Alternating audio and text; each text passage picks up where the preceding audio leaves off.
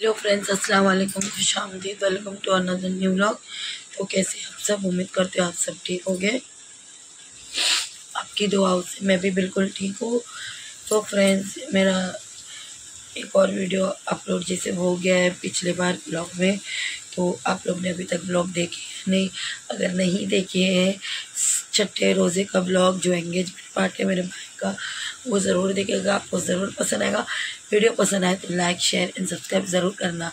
तो आप सबको सातवा रोज़ा मुबारक हो।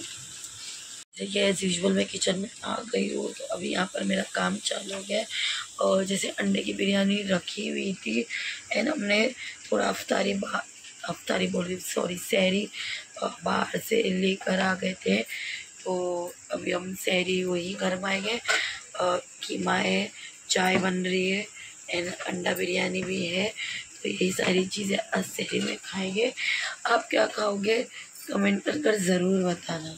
तो जैसे कि मैं अभी किचन में आ गई हूँ तो अभी ये ना, मैं पहले चाय वगैरह रख दूँगी। उसके बाद मैं चाय एंड जो अंडा बिरयानी सब गर्म होने तक मैं ताजुद पढ़ लूँगी। तो मेरा यहाँ पे रिकवर हो जाएगा नमाज़ भी पढ़ना और ताजुद भी पढ़ना है क्या नहीं फिर मैं देखिए पे चाय में ना शक्कर ऐड कर देती हूँ। एंड जाती हूँ मैं किचन के बाहर। मुझे रात में इतना लेट हो गया एडिटिंग करते करते तो बहुत मज़े का ब्लॉग बनाई हूँ मैंने। पिछला ब्लॉग अब ज़रूर देखना, छठवें रोज़े का एंगेजमेंट ब्लॉग जो पार्ट वन है। इन पार्ट टू भी मैं बहुत जल्द डालूँगी। क्योंकि अभी तक पार्ट टू की बारी आई नहीं। जब आएगी, वो भी आ जाएगा आप लोगों के लिए। सो फ्रेंड्स अभी है ना, मैं यहाँ पर आकर बैठ गई हूँ। यहाँ पर मैंने सारा दस्तर लगा दी हूँ। मैं जान अभी उठे हैं, तब मैं इनको, मैं कब से उठा रही हूँ। उठ नहीं रहा बिकॉज़ वो बहुत टायर्ड हो गया और एक तो एग्ज़ाम चालू है तो और बहुत प्रॉब्लम हो जाती है यार बच्चे लोग को। इसी के साथ आज एडिटिंग करते करते इतना टाइम हो गया कि आज बिल्कुल नींद नहीं हुई। बिल्कुल सहरी खाने का भी दिल नहीं कर रहा है मेरा बट मुझे खाना पड़ेगा।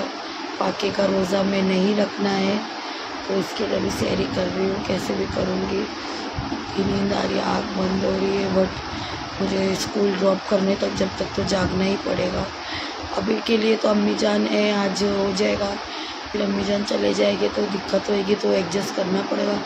रूटीन सब चेंज करूँगी मैं, फिर देखते तो फ्रेंड्स अभी मैं यहाँ पर देखिए सहरी खा रही हूँ। यहाँ पर पाव भी रखे हैं और काजू वाला कीमा भी यहाँ पे रखा हुआ है।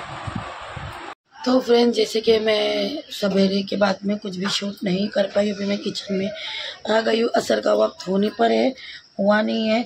तो कल हम लोग जो इवेंट के लिए जिधर गए थे, वहाँ पर मेरी फेवरेट चीज़ मिल रही थी तो हमने वो लेकर आए। अभी से निकाल के रखती हूँ मैं फ्रीज़र के बाहर ताकि वो फ्रीज़ हो गया है, वो छूट जाए। और इसी के साथ आज मैं फ्रोज़न में तलने वाली हूँ सीख। चिकन चीज़ी सीख, क्योंकि मेरे कमने को बहुत पसंद है वो। और इसी के साथ है ना, उसने मुझे बोला था कि, अम्मी यहाँ पे ना, समोसा भी तलना और दो तीन रोल पड़े हैं। तो मैं सोच रही हूँ, वो भी कर क्योंकि अफ्तारी में जाने से इन द हाउस नहीं है। तो अकेले मैनेज करना मेरे लिए बहुत मुश्किल है। के लिए हो जाएगा चिकन चीज़ी बॉल और डोनट भी है। अभी क्या है, देखना पड़ेगा। तो ये सारी चीज़ें हैं तो हो जाएगी फिर अफ्तारी के लिए फिर हमको मैनेज करके बनाते रहना पड़ेगा। और इधर पे ना, नीचे वाले उसमें रगड़ा भी है और चिकन ड्रैगन भी है तो वो भी हम लोग सब गरमा लेंगे। तो चलो, जुगाड़ तो हो गया खाने पीने का। और अपना फेरी के लिए क्या बनाओगी वो सोच रही हो। तो देखते हैं चिकन वगैरह लेकर आते आज मैंने लेकर आई मार्केट से फ्रूट्स यस मैं फ्रूट्स लेकर आ गई। मैंने ज़्यादा फ्रूट्स नहीं लाई हूँ, खाली पाइन लाई हूँ। अभी बनाना वगैरह के लिए मैं देखूँगी उठी हूँ मैं। देखते हैं कैसे क्या होगा। तो ऐसे सब लेके फिर हम खाएँगे, ठीक है? ओवर टू यू तो जैसे कि आपने पहले क्लिपसिंग में देखा होगा कि मैंने बोली कि जो फजर के बाद मैंने कुछ भी शूट नहीं की थी ज़ोर में बच्चों के लाने के बाद मैं थक गई थी और दिल तो नहीं कर रहा क्योंकि तबीयत नाचाज हो गई थी। तो मैंने क्या करी, मैंने फटाफट से ना फ्रूट लेकर आए। फ्रूट में मेरे तमीम को वाटरमेलन सबसे ज़्यादा बहुत पसंद है। तो मैंने वही लेकर आए और इसे कट करके रख दी क्योंकि असर का वक्त ऑलरेडी हो चुका था। एंड अम्मी जान, जैसे कि नहीं है मेरी मम्मा तो मेरी मम्मा नहीं है तो सारा चीज़ मुझे करना पड़ेगा। मैनेज भी सारी चीज़ें खुद करना पड़ता है।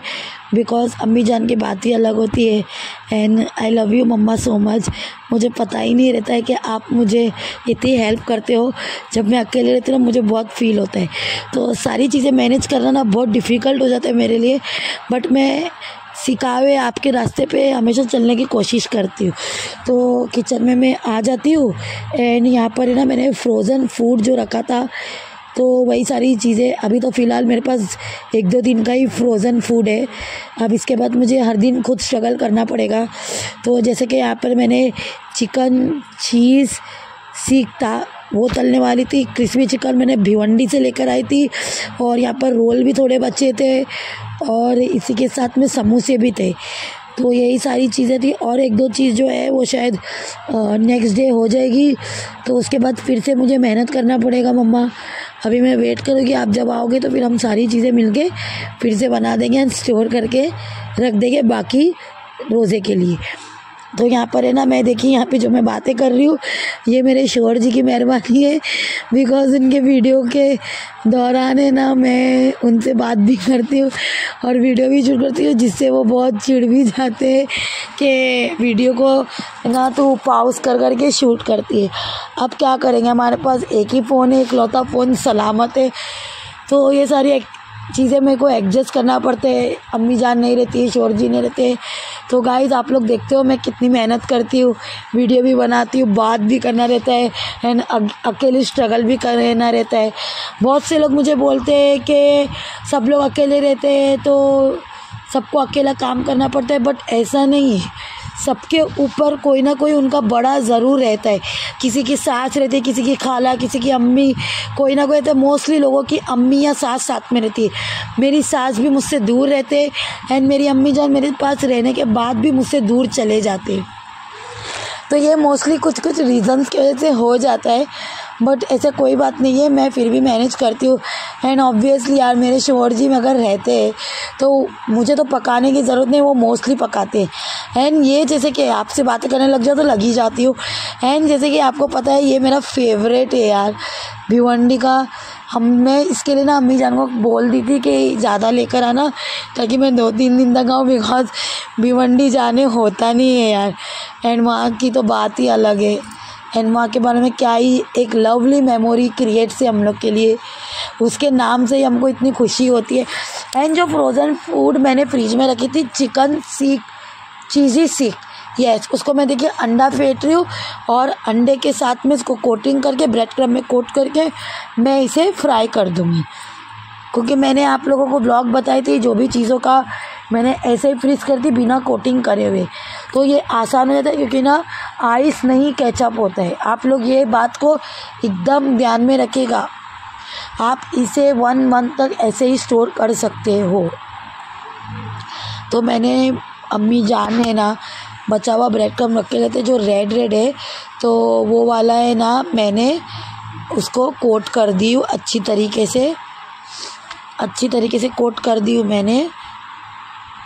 तो अभी इसको हम लोग फ्राई कर लेंगे, देखिए।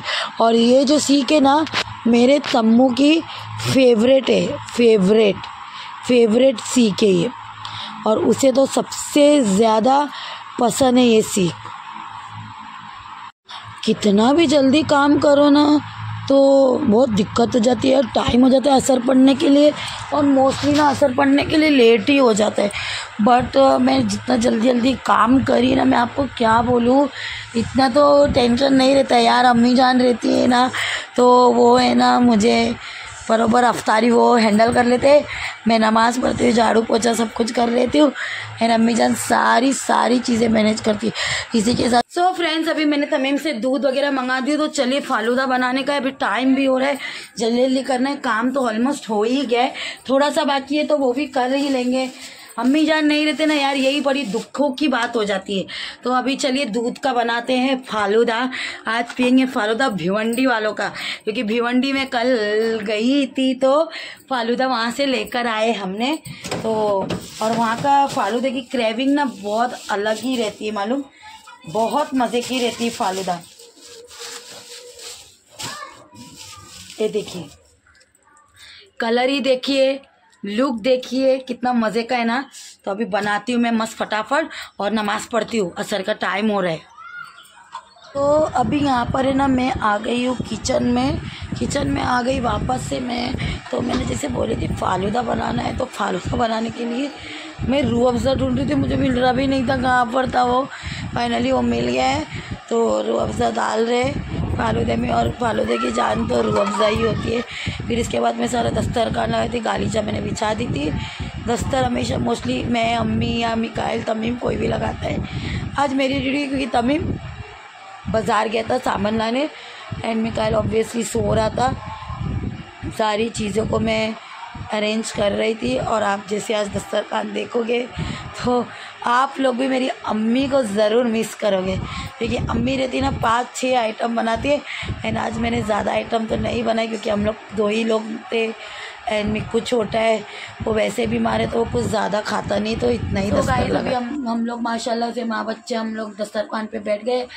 अम्मी जान को हम लोग मिस करें क्योंकि अम्मी जान की सीट खाली है कोई बात नहीं। अम्मी जान तो जल्द आ जाएगी इंशाल्लाह। अम्मी जान जहाँ भी रोज़ा खोल रहे हैं हमको पता है। एंड अल्लाह ताला अम्मी जान का साया हमेशा सलामत रखे। आमीन।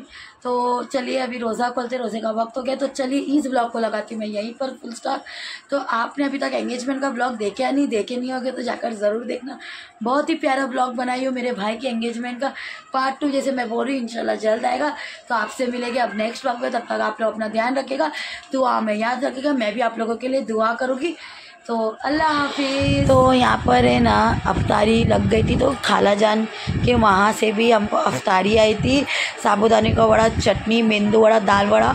और मेरी अफ्तारी में था आज chicken, cheesy seekh crispy chicken, roll, chicken samosa, खजूर और फ्रूट में था वाटरमेलन एंड बनाना और इसी के साथ जूस में था। फालूदा। तो आज यही सारी चीज़ें खाए। आप लोगों ने क्या खाए कमेंट कर कर ज़रूर बताना। वीडियो पसंद आए तो प्लीज़ लाइक करना शेयर करना और सब्सक्राइब करना तो बिल्कुल भी मत भूलेगा। जो नए चैनल पे प्लीज़ जल्दी से जल्द सब्सक्राइब करें और जो पुराने हमेशा जुड़े रहिए बेल आइकन को हिट ज़रूर करेगा तो आपसे लेती हूँ मैं फुल स्टॉप और चलिए इबादत करते हैं। नेक्स्ट ब्लॉग में मिलेंगे आपसे। आप लोग अपना ध्यान रखिएगा और बहुत सारी हम लोगों के लिए दुआएँ भी करिएगा।